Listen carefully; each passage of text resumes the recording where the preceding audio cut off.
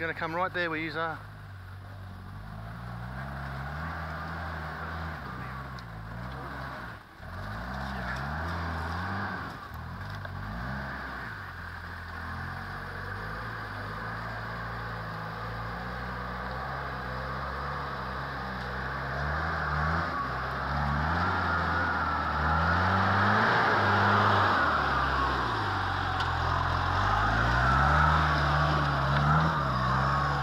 I gotta go back and do that again.